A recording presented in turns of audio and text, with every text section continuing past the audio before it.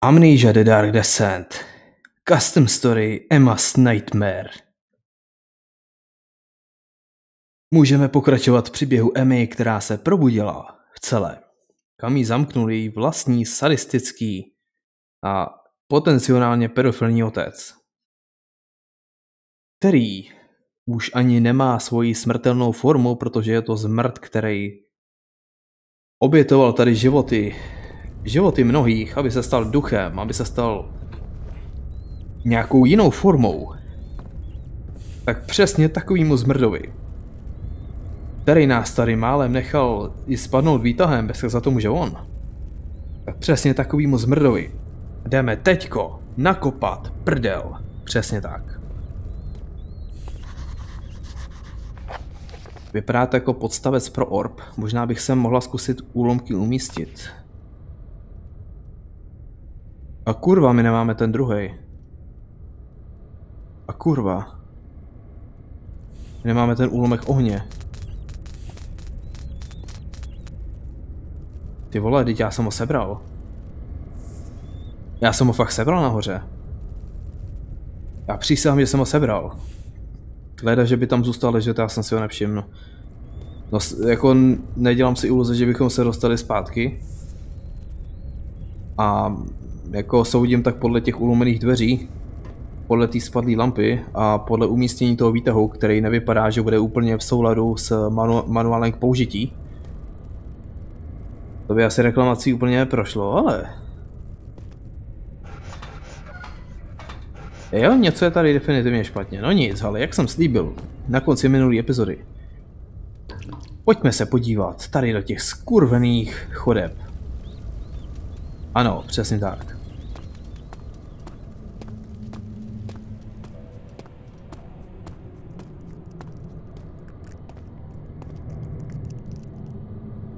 Víte, co mě tady napadá? A co mě úplně těší? Že tady ty chodby všechny vypadají tak nějak, jako kdyby byly dělaný na, na zatopení. Jo, tady ty celkově tyhle ty prostory pochází uh, ze Severus. Ze Stock.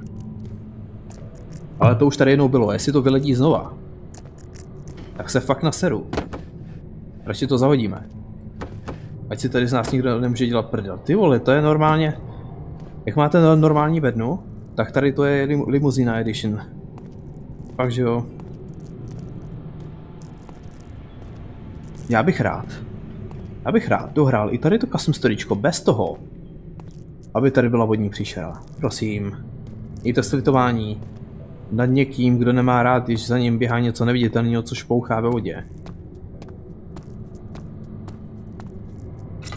To je zajímavý, mi připadá, že tady to... Tady je něco špatně. Na tady tomu kusu kamene. Tady je seriózně něco špatně. Okay, houba, no, počkat, tohle se bude hodit. Tady není, tady není špatná schovka, seriózně. Tady by se mi docela líbilo. Limousine Edition, část druhá. Tohle to je, to je seriózně vyšší než já. Tohle. Ten normálně vyšší než já. Fakt, že jo. OK, jdeme dál.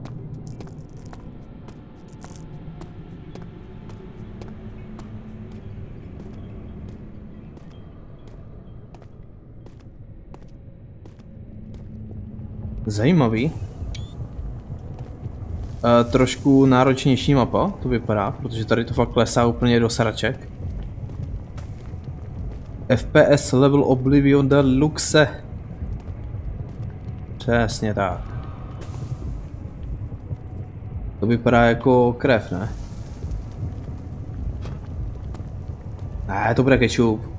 Jasný kečup. To píči, to nebude kečup, to bude hodně ostrý kečup, kurva.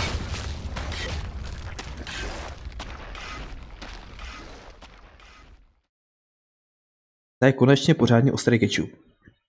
Já jdu vždycky do obchodu. Chci si koupit ostrý kečup. A to, co mi prodají, tak vůbec nepálí. Ono je to dobrý. Já si to dám rád. Ale vůbec to kurva nepálí. Ale tohle, to je ketchup, to je, to je kvalita. Hej, ono to fakt ty vole, ale klouže. Já přísám, že to klouže, já nejsem takový idiot. Jak to možná vypadá, ono to prostě jenom klouže. Dobře, možná jsem nebyl. Možná jsem úplný kokot. A možná to nemá skákat.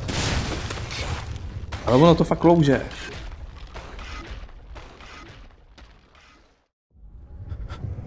Ono to seriózně klouže. A očividně skočit tam není úplně dobrý, protože to trošku pálí do koulí. No počkat, my jsme Emma.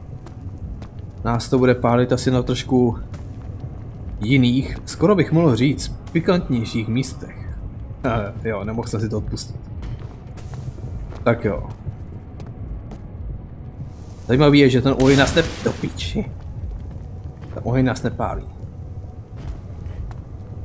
Ale jak je to možné, že to tam tak louže?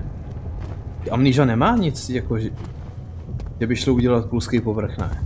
Bo o tom aspoň nevím. Já už asi vím, jak to někdo udělal, je to dobrý. Nevadí, hele, půjdeme vyskočit nahoru. Super, takže...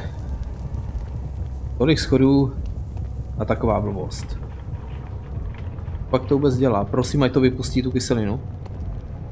Nebo co to je? Ketchup teda samozřejmě. Ostrý ketchup, Hellmans.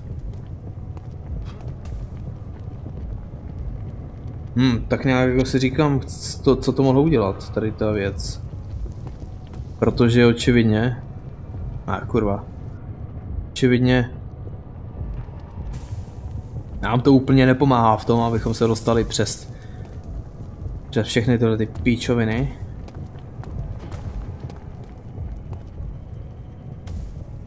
Leda, že bychom se měli dostat ještě na druhou stranu, protože tam jsou taky schody, které jsou úplně stejné jako to, co máme tady. To asi mohlo být ono. Že ano. Ježiši Kriste! Hop. Ah, no tak, no tak. Nechte toho. Já už si nikdy, nikdy nebudu stěžovat, že ketchup není ostrý, jasný? Pochopil jsem tady tu zprávu, která se mi tady ta hra snaží předat. Ale to je to lowdownu, který jsem bral úplně na začátku. Tady hned další. A říkal jsem si, že ho určitě někdy využiju, na rozdíl od předchozí, předchozího dílu Emma Story, kde mi přijde, že jsme ho měli až úplně do samého konce. No to je kurva skvělý, ale jako... To mi nepomůže se tam dostat. Protože já neskočím nahoru.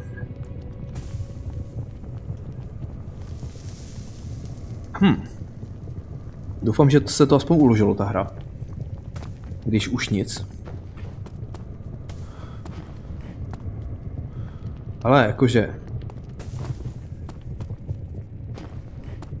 Já si můžu dovolit ještě tak jednou, maximálně dvakrát do toho spadnout. Pak se obávám, že asi zdechnu. Jasně, počkat. Abych to mohl proskákat tady, já nemusím skákat tady nahoru. Tak.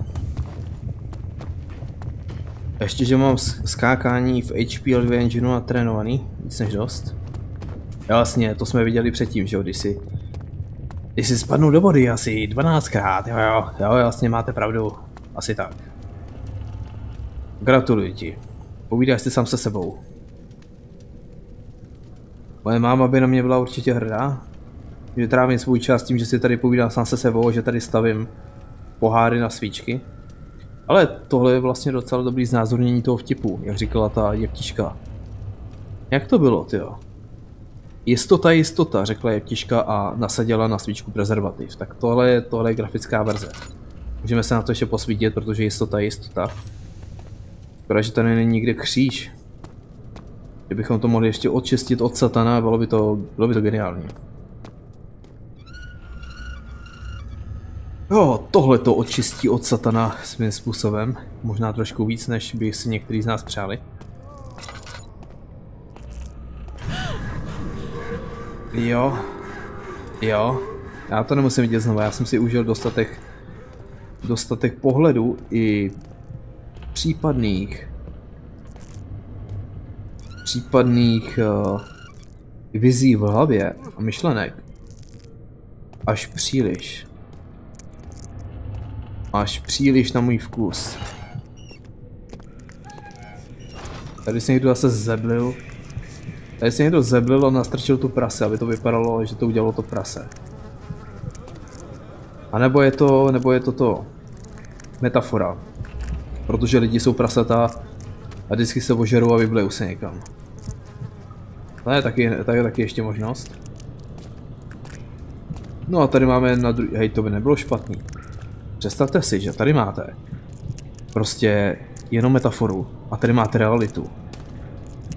Tady máte realitu, jak to vypadá u mě doma každou sobotu a neděli ráno.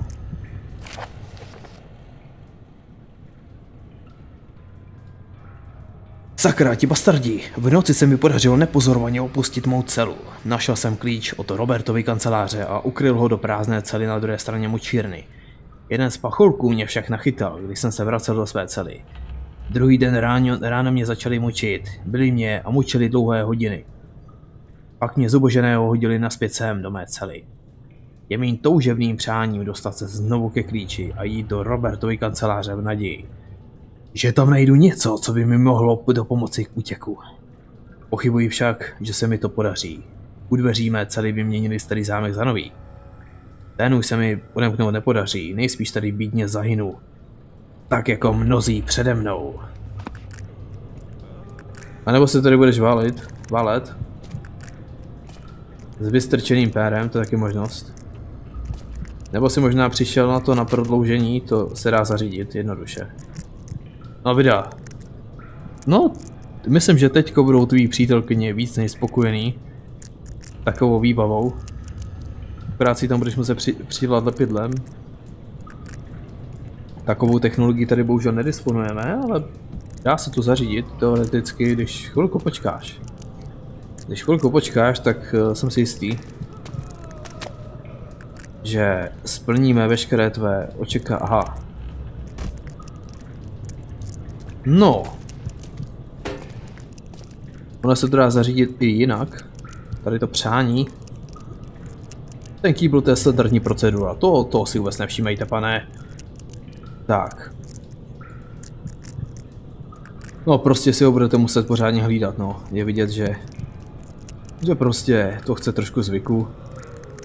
Ale gratuluji vám, prodloužení vašeho penisu bylo úspěšně dokončeno. Tady se radši přikryjte hlavu, ať to nevidíte, co se tady děje. Ty vole. Tohle kdyby viděl nějaký psycholog. Tady to video, tak si řekne, že jsem nějaký hodně zvláštní perverzní člověk. A víte co, možná máte pravdu. Já jsem nikdy neřekl, že ne. Přeci jenom se podívejte, co tady zahraju za videohry. A vzhledem k tomu, že už to dělám nějakou další dobu, asi 130 hodin, tak mi to zjevně přináší nějaké potěšení.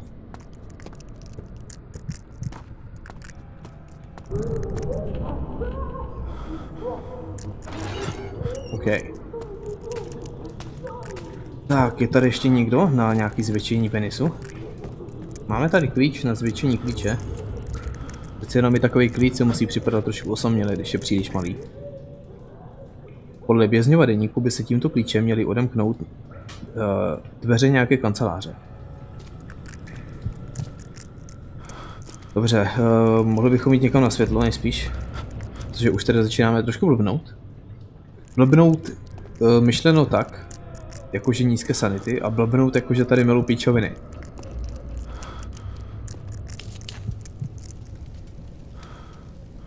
Ale kdo, kdo tady viděl víc než jedno video, tak ví, že určitý hry beru je seriózně, jako třeba Penambru, kde občas jsem taky mlel úplný sračky, ale pak jsem si říkal, vyseru se na to, ale ty custom srdíčka jsou taková odlečená série, kde prostě si občas uděláme trošku srandu, proč ne? Už je potřeba brát to s, hu s humorem.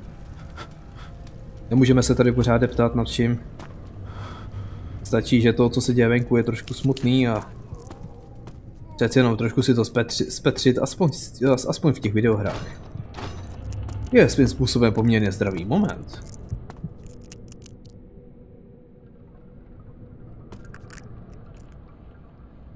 No tak kancelář, tohle je kanceláře. Já si celkově všímám, že autor tady to custom storyčka musí milovat tady ty dveře. On je snad má i doma vystavený někde. O to má jako dveře do svý vlastní kanceláře, protože Vídám je tady až příliš ča často. Porovnání s jinými custom storyčkama. Kouzlo nesmrtelnosti. Protože jsem se stal nesmrtelným, nemusím se obávat ničeho. Jak teda dokáže psát na papír? Aha, to muselo bolet. Kouzlo nesmrtelnosti může zlomit jen jedna věc. Opětovné Sorry. Já se omlouvám. Kouzlo nesmrtelnosti může zlomit jen jediná věc. Opětovné složení všech úlomků do koule orbu. Vím, že ona se o to pokusí. Nejspíš myšlena jako Emma. Musí mi v tom všemi prostředky zabránit. To je nejlepší si to, si to napsat na papír. Kam se ti ona velkýma písmenama může dostat. Ne, seriózně, mě to tady připomnělo jednu věc. Eh, víte, jak byly vždycky takový ty české pohádky? že kouzlo může zlomit jenom jediná věc. Princeznu můžeš osvobodit jedině tak, že ze zakletí do žáby tu žábu vezmeš a políbíš. Tak na tohle jsem se vzpomněl, když jsem se tady trošku, když jsem tady trošku ztratil soustředění, řekněme. Dobře, prší židle. Prší židle. Tož pořád znamená, že pořád není to, co bych chtěl vidět. On totiž náš učitel, když jsem chodil kdysi ještě do školy, to už je taky nějaký pátek, tak on říkal, já vám odpustím, odpustím písemky a dám vám jedničky, až budou padat trakaře. Zatím padá jenom židle, ale já si počkám, já si kurva počkám a potom si ho najdu. Už sice vůbec nevím, jak se jmenoval. Ani co učil, ale já si ho najdu. To se po, o to se postarám. A zatím, zatím prší jenom židle, to je ještě dobrý. Musím zahrát víc custom storyček, aby začali padat trakaře. A možná si budu muset počkat na nějakou amnížu, která bude z budoucnosti, kde už budou trakaře vynalezený, aby to bylo možný. Ale já si kurva počkám. Dobře, kromě toho, že je tady nablito, a kdo ví co ještě, tak by mě kurva zajímalo, To přesně po nás teďko chce. Vypadá to jako podstavec pro orb. Hm, jenomže já mám jenom tady ten. Pak se mi líbí, kolik máme, kolik máme toho uh, oleje. Jo, tady není taková tma. Tady se dá docela pracovat i bez té lampy. Což není vůbec špatný. Takže ano, ano, ano. Oh, pozor, to jsem si vůbec nevšiml.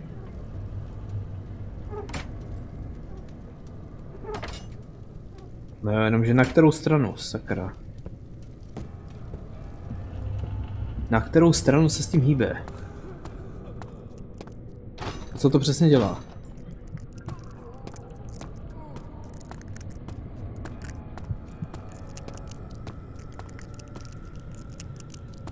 Hm, cítím tak nějak, že mě začne za chvilku zase jebat trošku.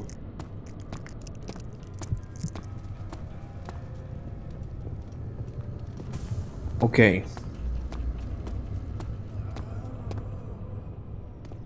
Jo, když už uh, koukáme na tyhle ty náročné mapy, mně se podařilo ve svým Custom Story Obscuro vytvořit vytvořit úplně nový materiál, vytvořit sníh, vytvořit normálně led, led, který, který dělal odrazy toho světa. Něco jako je to tady, ale vyloženě nejenom takový siluety, ale vyloženě i barvy a všechno.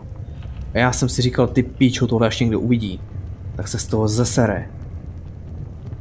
No a pak jsem si uvědomil, že mám na 1660. Ještě jsem to stáhnul na střední detaily. 25 fps. Na vysoký 17. Já se na to musel vysrat. A mě to tak strašně mrzí. Mě to tak strašně štve. Samozřejmě, že na vině je nejspíš ten engine, který to prostě na to není stavěný. Ten engine není stavěný na to, aby tady byly takovéhle efekty. Uh, možná za to může jít to OpenGL, protože OpenGL je obecně prostě single threaded svým způsobem. Ne doslova, ale nezvládá tolik věcí najednou udělat. Jo, prostě celkově ten engine na to není přizpůsobený. Mě to tak strašně sere. Já bych tak strašně rád to nechal tak, jak jsem to měl. Já to budu muset... Já to budu muset vyloženě downgradeovat všechno. Aby to vypadalo hůř. Aby to běželo na normálních kompech normálně, protože... Nemůžu to nechat v takovém stavu, v jakým to je. Čekat, ne, neodemyká to náhodou tohle. No jasně, že jo. Co tady celou dobu sakra, sakra dělal? Bezva. Úlom, jo, tohle je úlomek ohně. Já myslím, že jsme ho sebrali předtím. No přesně, přesně, Mo, přesně. Že nejsem Magor, já nejsem blázen. Já nejsem blázen, já ještě nejsem Magor. No, podle toho, co tady říkám, možná už jo. OK, uh, myslel jsem si, že tento úlomek jsem sebral už v knihovně. Ale kam se pak poděl? No nic, zkusím ho umístit na podstavě u výtahu. O, Emo, já jsem tak rád, že nejsem blázen. Já jsem tak rád, že to vidíš úplně stejně. Protože ty vole, já už jsem si říkal, že jsem to zabagoval. A doteď jsem si na 50... Píči. Doteď jsem si na 50% byl jistý, že... Že to nakonec nepůjde dohrát ta hra. Že ta hra... Že ta hra se zabagovala. Ale opak je pravdou, opak je pravdou, hej, dobrý.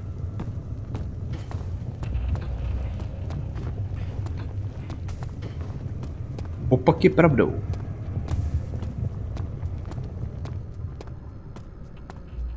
Víte, z čeho mám špatný pocit? Si zpátky.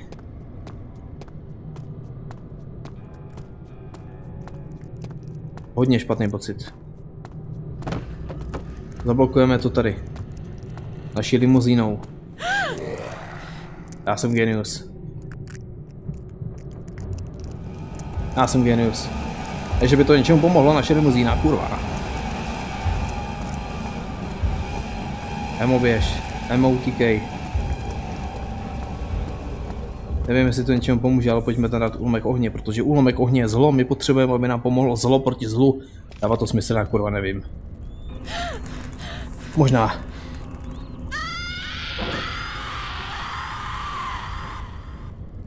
Ano, zase typický telefonát na reklamace.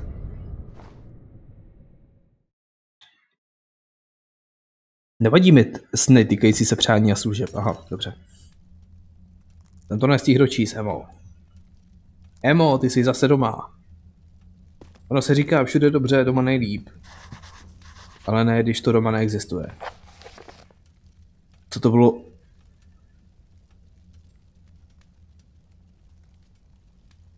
Takže my nevíme, co je skutečnost. My nevíme, jestli tohle, kde jsme teď, je skutečnost. A nebo jestli to, kde jsme byli teď, je skutečnost. Uh, OK, co to bylo za hroznou noční můru? Zdálo se mi o lávovém poli a mučírně.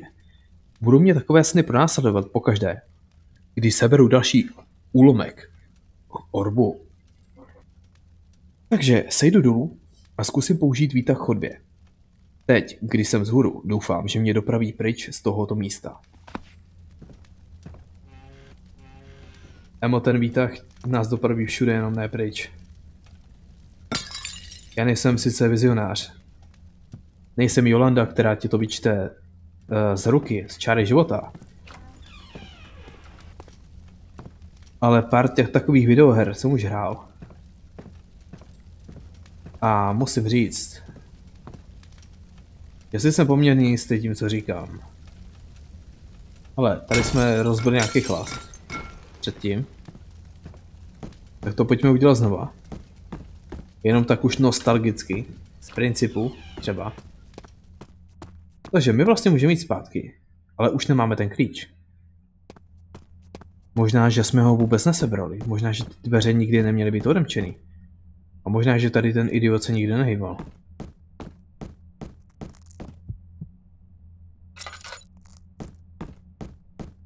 Ty vole, já už jsem se fakt že tam není. Já nevím, jestli to vidíte, ale přes ten kous to vypadá jako, že on tam není. Ale jsou, jsou, jsou mu tam vidět nohy.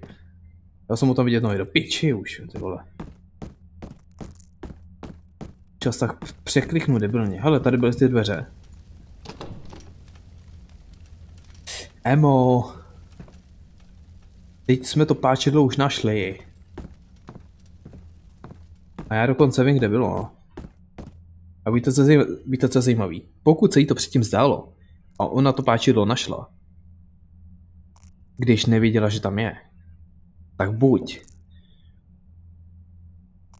buď je to médium, který vidí někam dál, anebo to byla skutečnost. Protože pokud bychom našli páčidlo, o kterém jsme nevěděli, že tam je, tak je to trošku zvláštní. Pokud bychom ho našli teďko, pokud tam to byla realita a my to páčidlo najdeme teďko, když víme, že tam je, tak tohle to může být klidně sen. To je moje teorie. Založená na... A posledně, když jsem to páčidlo zvednul, tak... OK. Dobře. Posledně, když jsem to páčidlo zvednul, nepočkej, co jsem to říkal předtím, se krásně tady...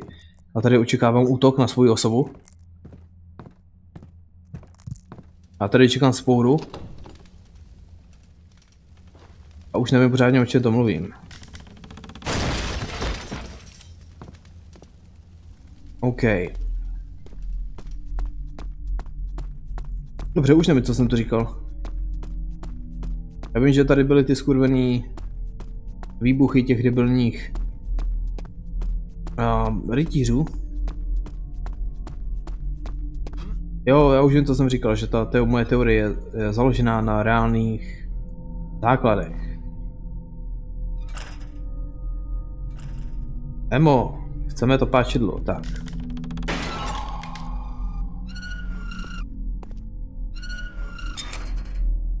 Dobře, milý výtahu, prosím, vezmi mě někam, kde nebudou nějaký pole s pálivým kečupem. Prosím, nespadni na zem. Buď milosrdný a nenaser mě. Jestliže jsem nyní opět vzhůru, mohu pokračovat ve své cestě. Ale to nevíme. To nikdy nevíš, jestli jsi vzhůru. Třeba teďko ani nevíte, jestli jste vzhůru. A díváte se na tady to custom story.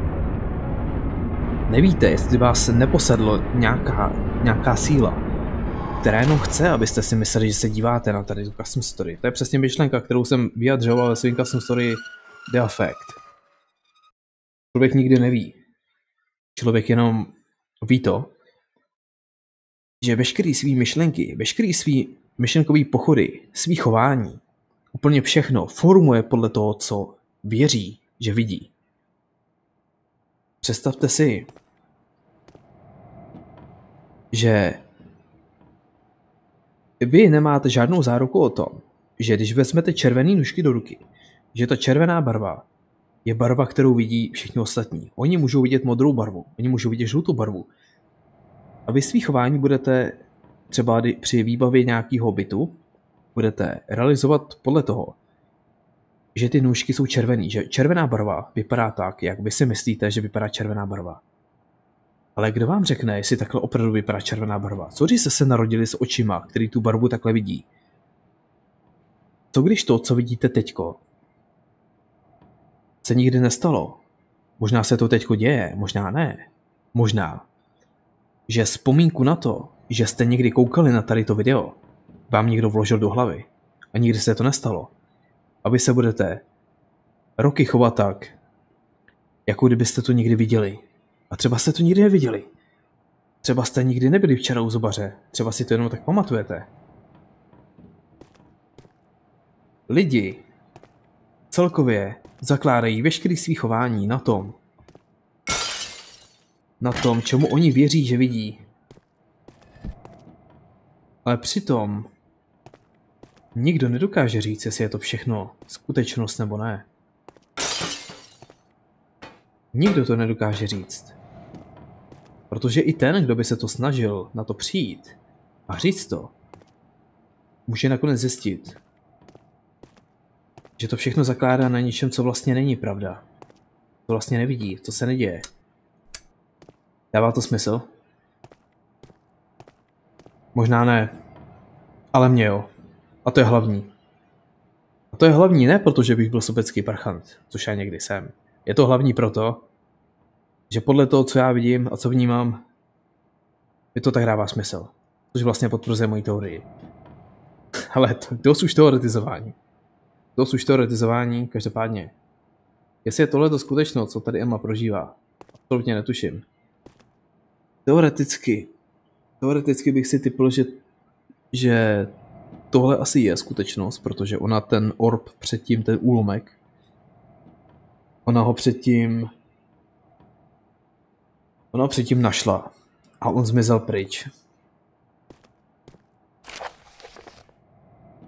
Tesla přináší elektřinu do Yorku 17. července 1885. Vynálezce Nikola Tesla přináší svůj úžasný vynález. Elektrickou žárovku do Yorku. Tento vynález bude mít významný dopad na běžný život nás všech. Už nebudeme odkázáni na svíčky či petrolové lampy. Žijeme v mimořádné době plné pokrokových technologií a vynálezů. Skvělý.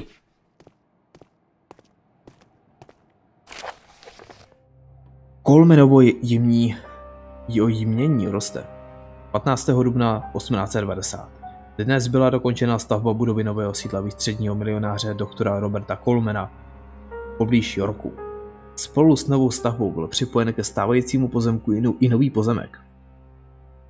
Takže nynější výměra Kolmenova pozemku činí přes 100 akrů. Říká se, že staré Kolmenovo sídlo, nyní přezdívané Starý zámek, na pozemku stále stojí. Avšak tyto zprávy nelze ani potvrdit, ani vyvrátit. Mezi lidmi se povídá, že ve starém zámku je pohřbena Kolmenova dcera Emma, která ze záhadných okolností zmizela před 40 lety. Jiní věří, že tehdy jen utekla se svým snoubencem Nílem, který zmizel zhruba ve stejnou dobu. Bohužel ani tuto zprávu nelze nějak dále komentovat, alespoň do doby, dokud nebudou objeveny buď hroby obou zmíněných, nebo nebude jejich zmizení nějak vysvětleno, jinak vysvětleno. Zajímavé. Spala jsem ve vězení 40 let a nezastárl ani o den? To zřejmě způsobil smaragdový úlomek, udržel mě mladou a svěží. A co ostatní úlomky? Možná ještě budou v domě, musíme najít. Možná ano. Ale já vám děkuji za pozornost. U prvního dílu nového skvělého Custom počkej, to už je druhý díl. Už to hraju příliš dlouho. A myslím, že tady to je prozatím stačilo. A uvidíme se u dalšího dílu tady toho skvělého Custom Story. Takže prozatím díky a příště.